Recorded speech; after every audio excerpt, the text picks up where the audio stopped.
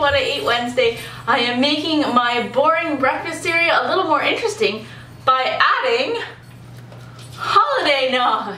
This one is the So Delicious vegan eggnog. Um, it's called holiday nog. The best was Noel nog, but I don't know if they make it anymore. I don't think so. I remember last year I was trying to find it and I went on their Facebook page and they said they got rid of it.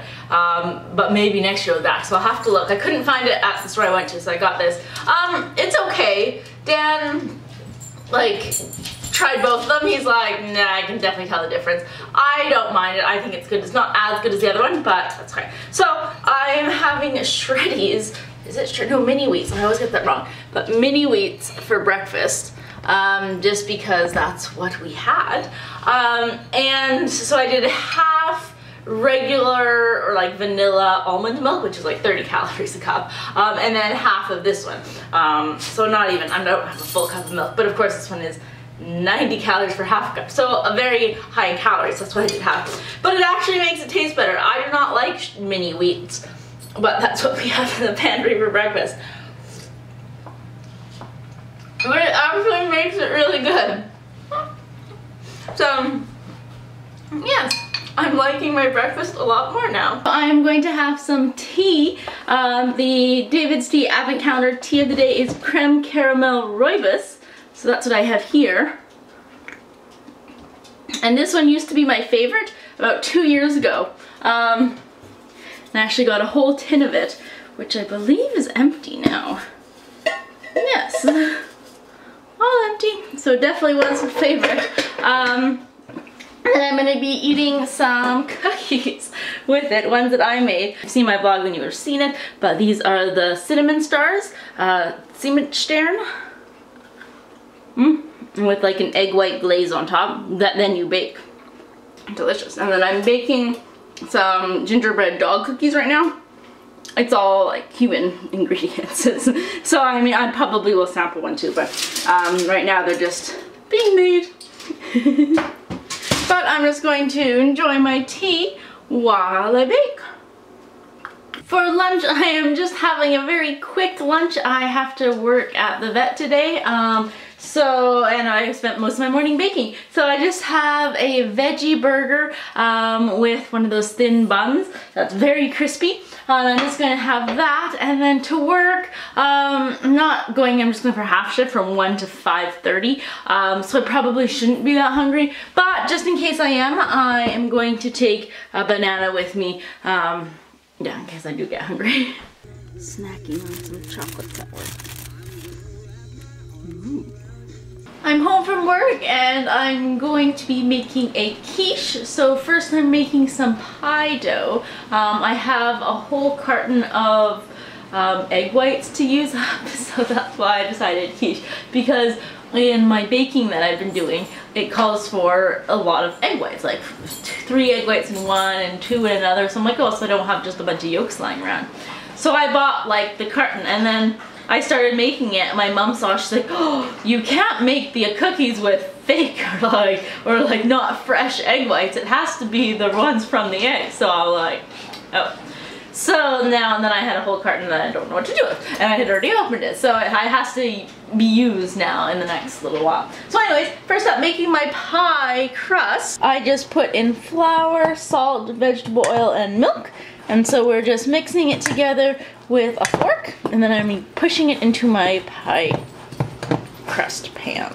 So I haven't actually made a pie crust myself, I don't think, um, but that's okay. So we're just gonna poke some holes in it. Um, and then we're gonna bake it in uh, oven at 400 degrees Fahrenheit for just about 15 minutes because no one wants a soggy bottom, as Mary Berry would say. So I'm working on my filling.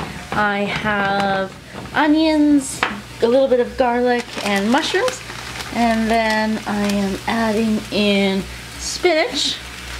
We're gonna let that wilt. Actually, I probably should have cut them up a bit more, but that's okay. And then here I have my egg whites. the, the recipe calls for 10 egg whites. In the whole carton, there's 14, so I used, you know, almost all of it. Maybe like, there's still this much left or so. Uh, and then I put in some garlic, salt, cayenne, paprika, and oregano. So then I added some Yves veggie salami um, and have that in the mixture with everything. And then I have grated some cheese, some real cheese. this one is Little Qualicum brand. Um, it's the Hot Jill, so it's like I think I mean I imagine like a pepper jack, but pepper Jill and with peppers. um, anyway, so it's a local cheese factory, cheese. I don't know what you're called them. A cheese works. Yeah, sure. Cheese works. Um, anyway, so I contacted them and asked them if they use rennet or any animal like enzyme um, or if it's just anyway so they said no they don't. They yeah use a different microbial agent and not rennet so it is completely vegetarian. They said obviously not vegan because it's dairy it's from the cow. But they said yep yeah, all of their cheeses are vegetarian. No rennet so I'm like oh my god I can have real cheese. As much as I love the Daiya one well no I don't really love it. I just manage it. But it's just oh it's so nice to have real cheese again. Um only downfall, it's expensive for this little block. It was $10. Um, so it's not something I'm going to be purchasing a lot. But for now, oh, I just thought it would make the quiche better than if I just had like, wait, without. So we have all of the egg whites and now I'm going to be adding this into it. And I have to work quickly so I don't want this hotness to um, mix egg whites. And then add the cheese as well. Oh, yes. And so now I'm just going to pour this into my crust. Ooh. And just mix this around a bit so we have the veggies and everything evenly spaced. Oh, that's actually a good amount. So now I'm going to pop this in the oven Uh, and bake it at 375 degrees for about 25 minutes. I took it out of the oven. That's looking pretty nice. Now is the truth if it's gonna stay together or completely fall apart or the crust is gonna be soggy on the bottom. Wow, it actually stays up.